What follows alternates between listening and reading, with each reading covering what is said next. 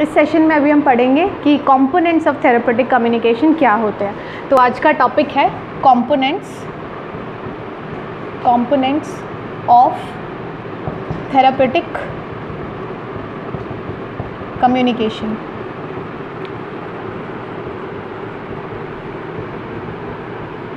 ये आज का टॉपिक है। तो इसको भी शॉर्टकट में अगर याद करना है तो थेर जो कंपोनेंट्स हैं, वो फोर कंपोनेंट्स हैं हमारे पास, जो कि है, जिसको याद करने के लिए ये शॉर्टकट है दैट्स ग्रीव तो यहाँ क्या है? जी से है जेन्युइननेस आर से है रैपिड ई से एम्पथी एंड डब्ल्यू से वॉम्थ ओके okay, तो ये है कंपोनेंट्स कि आप जब भी एक कम्युनिकेशन आप कर रहे हो तो कौन कौन से कंपोनेंट्स होने चाहिए उस कम्युनिकेशन में? तो ये चार चीज़ें हैं genuineness rapid empathy and warmth तो ये हम कैसे यूज़ करते हैं मैं बताती हूँ। किसी भी कन्वर्सेशन में आ, सबसे पहली चीज़ जो होनी चाहिए वो है जेनुइननेस जेनुइननेस का मतलब ये है कि जब भी आप किसी से कम्युनिकेशन कर रहे हो, जब भी आप किसी से बात कर रहे हो भले ही वो आप इन्फॉर्मेशन गैदर करने के लिए बात कर रहे हो बट जो भी, जिससे भी आप कम्युनिकेट कर रहे हो, चाहे वो पेशेंट ही क्यों ना हो, उसे ऐसा फील नहीं होना चाहिए कि आप जो भी उनके साथ कम्युनिकेट करने की कोशिश कर रहे हो, वो एक मोटिव के लिए है, या फिर वो सिर्फ़ और सिर्फ़ इन्फॉर्मेशन गैदर करने के लिए है। आपको बहुत ही जेनविन तरीके से उनको अप्रोच करना है बात करने के लिए, और बहुत ही नेचुरल लगना चाहिए कि आप एक नेचुरल तरीके से उनसे कन्वर्सेशन करना चाहते हैं।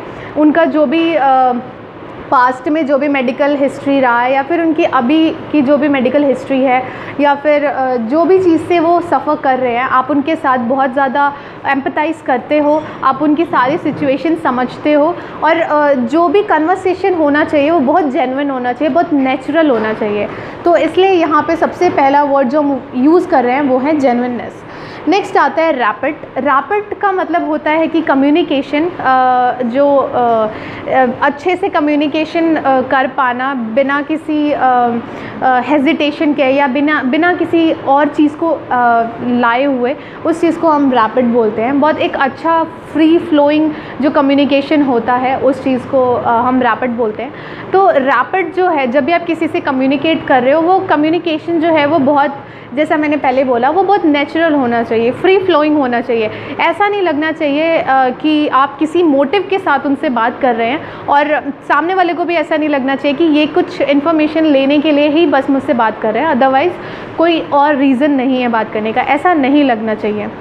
नेक्स्ट इज़ एम्पथी एम्पथी का मतलब है कि जो भी पेशेंट फील कर रहा है आपको आ, ऐसा फीलिंग होना कि मतलब उन, वो जो भी फील कर रहे हैं, आप वो फील कर सकते हो। उसको हम एम्पथी बोलते हैं। एम्पथाइज़ करना मतलब जो भी पेशेंट जिस चीज़ से भी गुज़र रहा है, उस चीज़ से हम गुज़र चुके हैं या हम हम भी वो चीज़ समझते हैं, वैसा उनको फील कराना कि आपकी जो भी सिचुएशन है हम समझ सकते हैं आपका सिचुएशन क्या है, हम समझ सकते हैं आपकी फीलिंग्स क्या है। उस चीज़ को बोलते हैं एम्पथी और एक कन्वर्सेशन में जब भी आप पेशेंट से कन्वर्से आपका जो भी कन्वर्सेशन चल रहा है, जब भी आप कम्युनिकेट करते हैं तो एम्पथी होना बहुत ज़रूरी है। अदरवाइज़ वो एक अलग तरीके से कन्वर्सेशन हो जाता है। ऐसा नहीं होना चाहिए कि पेशेंट को लगे कि आप उनके साथ एम्पथाइज़ नहीं करते हो और फिर उनको कोई, उनके इमोशंस को या फिर उनकी फीलिंग्स को हर्ट नहीं होना चाहिए। ओके नेक्स्ट है वॉम्थ वॉम्थ हम यहाँ पे इसलिए यूज़ कर रहे हैं ताकि पेशेंट को ऐसा लगे कि उनका ध्यान रखा जा रहा है उनकी आ, मतलब ऐसा नहीं है कि उनको नेगलेक्ट किया जा रहा है उनका ध्यान रखा जा रहा है और उनसे बातचीत प्रॉपर तरीके से करी जा रही है और उनके जितने भी आ, आ, मतलब क्वायरीज़ हैं वो पूरी करी जा रही है और जितना भी उनका प्रॉब्लम हो रहा है जैसे आ, जितने भी चीफ कंप्लेंट्स होंगे उनके जितने भी प्रॉब्लम्स आ रहे हैं हेल्थ रिलेटेड वो सारे के सारे पे ध्यान दिया जा रहा है। दैट इज़ वॉम्थ तो ये थे कंपोनेंट्स ऑफ़ थेरेपेटिक कम्युनिकेशन इसके बाद आता है फेजेस ऑफ़ थेरेपेटिक रिलेशनशिप जो होता है कि कितने फेजेस होते हैं। तो हमारा नेक्स्ट टॉपिक है phases of therapeutic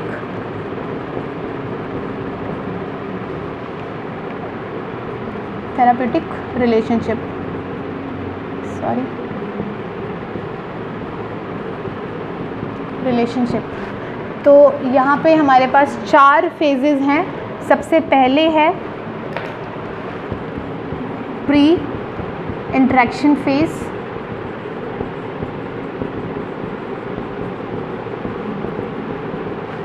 second one is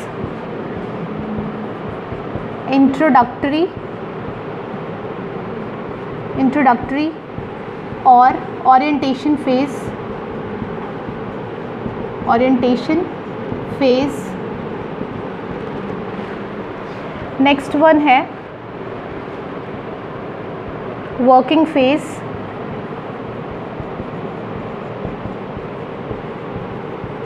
and last one है termination phase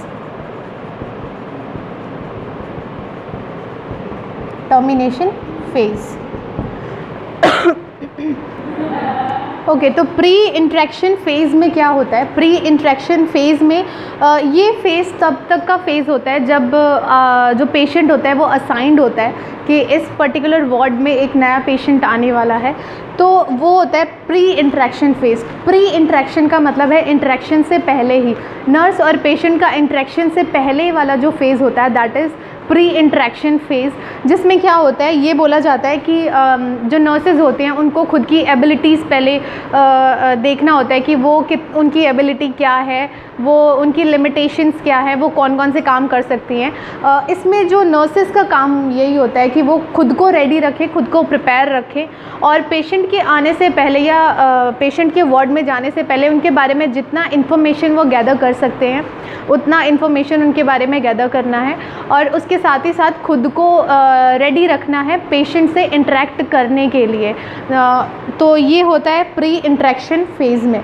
नेक्स्ट आता है इंट्रोडक्टरी फ़ेज़ और ओरिएंटेशन फ़ेज़ इंट्रोडक्टरी और ओरिएंटेशन फ़ेज़ में क्या होता है? इसमें पेशेंट और नर्सेज जो नर्स जो है, वो मिलते हैं। इंट्रोडक्शन उनका होता है। इंट्रोडक्शन करते हैं और ओरिएंटेशन साथ ही साथ चलते हैं। ओरिएंटेशन का मतलब यहाँ पे ये है कि नर्सेज जो हैं, वही पेशेंट का ओरिएंटेशन कराती हैं कि यहाँ पे वॉशरूम किधर है, यहाँ पे कौन सा रूम किधर है, वो चीज़ ओरिएंटेशन उनका प्रॉपर तरीके से कराना। साथ ही साथ इंट्रोडक्शन देते टाइम ये भी पता करना कि उनका जो आ, मतलब उनके बारे में डाटा गैदर करना उनके जो पहले के इन्फॉर्मेशंस हैं उसको गैदर करने की कोशिश करना। नेक्स्ट आता है वर्किंग फ़ेज़ वर्किंग फ़ेज़ में क्या है? वर्किंग फ़ेज़ में साथ में काम करना। आ, साथ में काम करके साथ में काम करने का मतलब है नर्स जब पेशेंट की केयर करती हैं जो भी उनका ड्यूटी है लाइक मॉर्निंग टू इवनिंग जो मेडिकेशंस प्रोवाइड करने हैं वो उसके बाद अगर कोई भी एक्स्ट्रा काम है उसको लेके आईवी सेट्स वगैरह अगर चेंज करने हैं कैनुलाज वगैरह चेंज करने हैं वो सारा काम उसके अलावा उनके बारे में इंफॉर्मेशन गैदर करना। वर्किंग फ़ेज़ में अच्छे से कम्युनिकेट करने के बाद उनसे आ, उन्हें पता करना है कि कौन से स्ट्रेसर्स हो सकते हैं या फिर क्या रीज़न हो सकता है इनके प्रॉब्लम का? अगर स्ट्रेस है तो उसको फाइंड आउट करना कि स्ट्रेसर क्या है और कोशिश करना कि उस स्ट्रेस को कम करने की कोशिश करें। इसमें नर्स और पेशेंट दोनों मिलकर ही काम करते हैं कि अगर स्ट्रेस है तो उसको कम कैसे कर सकते हैं या फिर उससे पीछा कैसे छुड़ा सकते हैं। लास्ट है टर्मिनेशन फ़ेज़ टर्मिनेशन फ़ेज़ का मतलब है कि टर्मिनेट uh, का मतलब ये होता है कि जब पेशेंट हॉस्पिटल छोड़ के जा रहा हो। मतलब वो आ, या तो हेल्दी हो चुके हैं या तो दूसरे हॉस्पिटल में जा रहे हो। तो उस जगह उस पर्टिकुलर हॉस्पिटल को छोड़ के जा रहे हो तो वो फ़ेज़ होता है टर्मिनेशन फ़ेज़ इसमें नर्सेज का काम यही होता है कि ये ध्यान से देखना कि जितने भी वैल्यूएबल आइटम्स हैं पेशेंट अपने साथ लेके जा रहे हैं या नहीं जा रहे हैं, और जितने भी मतलब मेडिकेशंस हैं प्रॉपर उनको पता है या नहीं कि कितने डोजेज़ लेने हैं या फिर क्या रूटीन है मेडिकेशंस लेने का, और उसके बाद जो भी पेपर वर्क वगैरह है, वो हो रहा है या नहीं, वो कंप्लीट है या नहीं, ये सारी चीज़ें करने के बाद उनको डिस्चार्ज मिलता है। मतलब जो फ़ेज़ होता है एक कि पेशेंट पहले आते हैं इंट्रोडक्शन होता है, साथ में काम किया मतलब उनको ट्रीटमेंट प्रोवाइड किया एंड देन उसके बाद जब उनका ट्रीटमेंट हो गया तो वो वहाँ से डिस्चार्ज हो गए। तो ये फेजेस थे प्री इंट्रैक्शन फ़ेज़ इंट्रोडक्टरी और ओरिएंटेशन फ़ेज़ वर्किंग फ़ेज़ और टर्मिनेशन फ़ेज़ ओके तो आज हमने दो चीज़ें डील करी, जो कि है components of therapeutic communication and phases of therapeutic relationship components of therapeutic communication में यहाँ पे हमने चार चीज़ें देखी जो कि है जेनविननेस आप जब भी कम्युनिकेट करते हो पेशेंट के साथ तो ये चार चीज़ें उसमें होनी चाहिए। जेनविननेस होना चाहिए। पेशेंट को ऐसा नहीं लगना चाहिए कि आप जस्ट एक मोटिव के लिए आप उनसे बात कर रहे हैं। और जो कम्युनिकेशन का तरीका है वो बहुत सही होना चाहिए प्रॉपर में प्रॉपर होना चाहिए।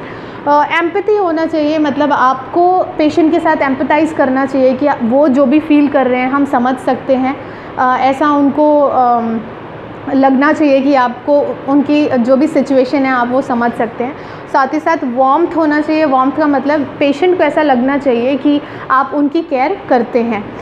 नेक्स्ट uh, हमने देखा phases of therapeutic relationship pre interaction है मतलब इंट्रैक्शन पे, पेशेंट और नर्स का इंट्रैक्शन से पहले वाला जो फ़ेज़ होता है वो है pre interaction phase introductory phase में पेशेंट और नर्स जो हैं वो आपस में इंट्रोडक्शन करते हैं पता लगाने की कोशिश करते हैं कि क्या क्या प्रॉब्लम्स हैं. वर्किंग फ़ेज़ में जो भी प्रॉब्लम्स हैं उसके लिए ट्रीटमेंट प्रोवाइड करना एंड टर्मिनेशन फ़ेज़ में डिस्चार्ज होकर चले जाना. तो आज के सेशन में इतना ही. आई होप आपको ये समझ में आया हो. अगर इससे रिलेटेड आपको कोई भी डाउट है तो आप पूछ सकते हैं. Thank you class